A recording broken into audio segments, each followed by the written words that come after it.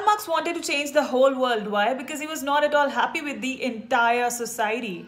Because the people, like capitalists, were exploiting the working class. So today we are going to learn about the historical materialism in quite detail. So let's get into the video and talk about it.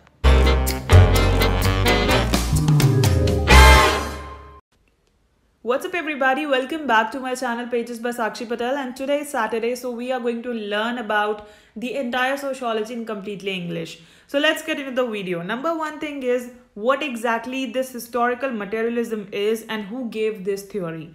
So Karl Marx is the person who gave this beautiful theory and this theory means theory of history or the development of various stages. I know you can't understand from this one single line that what exactly this whole theory talks about but afterwards okay you will able to understand that what exactly this theory is all about.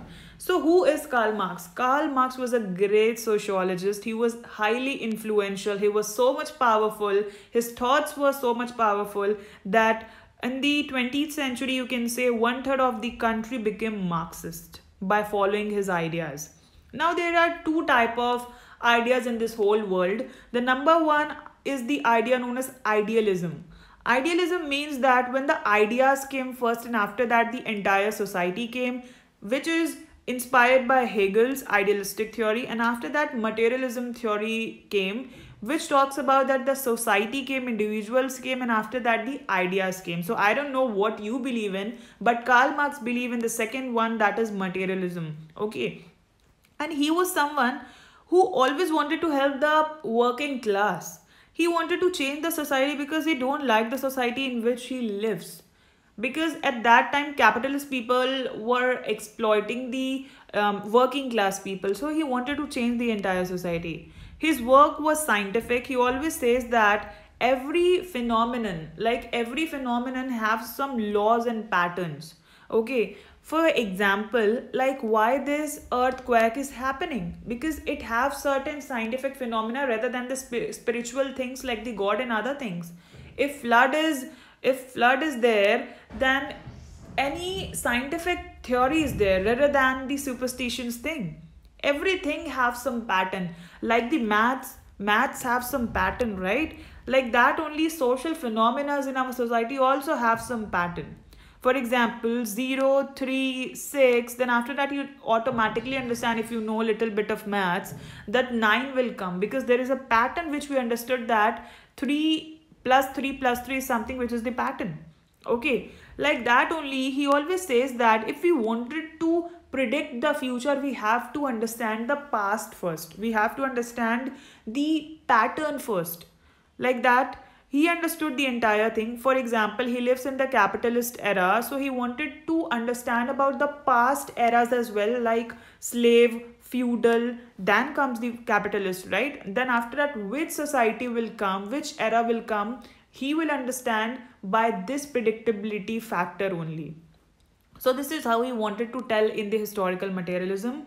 He wanted a welfare society exactly. In his famous book, okay, which is known as Contribution to the Critique of Political Economy. He wrote about the historical materialism. So this is one of the very important question. If you asked in the examination that what exactly uh, the book was in which he wrote about the historical materialism. So this is the contribution to the critique of political economy. Now society changed or developed by the mode of production. Suppose mode of production means that if somebody don't have any phones and gadgets what we have today, we have Apple iPhones, we have MacBooks. So our society is completely changed. We don't do jobs like the other people or somebody who are doing jobs 50 years back or the 10 years back in fact. People were going to their uh, office and doing jobs but we are doing jobs by sitting in our home or offices. Why? Because our mode of production has changed. We have these phones and different stuff. Like that only in, in every single society there are several mode of production and mode of production is only uh, you can say supposed to be change the life of the peoples. For example there were primitive communism the first you can say we are going to learn about the evolution of society. And the very first era was the primitive communism in which no class was there. No rich no poor only people were there who were hunter and gatherers and they do only two things that were uh, hunting and gathering the foods and eating. Okay.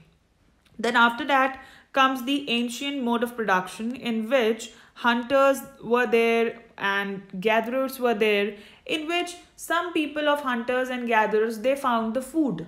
And the other people they were not able to find the food.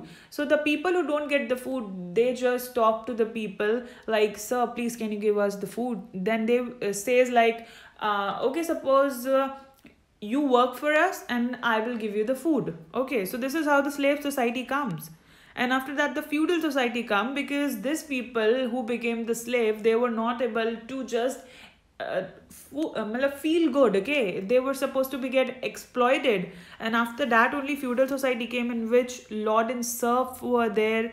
And again they were feeling exploited. Then comes the capitalist society which were the present society in europe.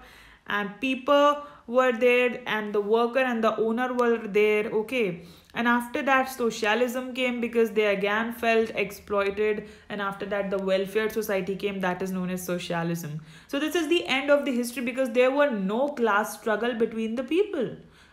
If people don't uh, feel offended or feel exploited then there will be no conflict between both of them there will be no class struggle between both of them. And this is the end of the history. And this is what historical materialism is all about. And karl marx is the person who first started this particular thing. Yeah so this is all about it. Thank you so much Thank you so much. Do like, share and subscribe and please press the bell icon so that you'll be notified each and every single time I'll be online. And if you haven't followed me yet on my Instagram ID that is pages by Sakshi then you can also follow me there too. Okay so this is all about it and see you bye in the next video.